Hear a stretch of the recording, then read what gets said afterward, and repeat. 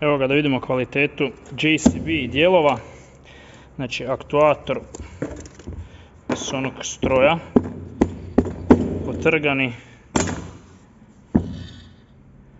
Da vidimo. Kontakti. Srednja žalost. Kontakti srednja žalost.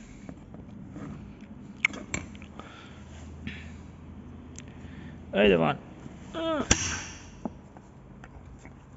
Gao. Plastični zupčanik. Gao.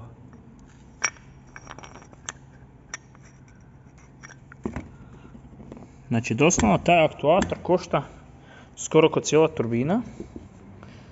A jedino kaj je na njemu prošlo su zubi ovdje. Znači 1, 2, 3 zuba fale.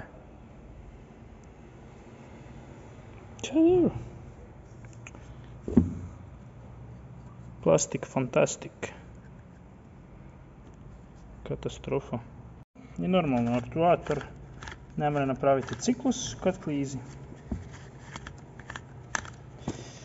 Aj, aj. Sve dobro, smeće se samo zupčanika nema za kupiti, eventualno da se napravi drugi, ali mislim da mušterija se neće zezati s tim, ugradili smo novi. Evo ti, znači na radnom stroju koji bi trebali delati jako puno sati i ne kvariti se, oni ugrađuju jeftine plastične zupčanike.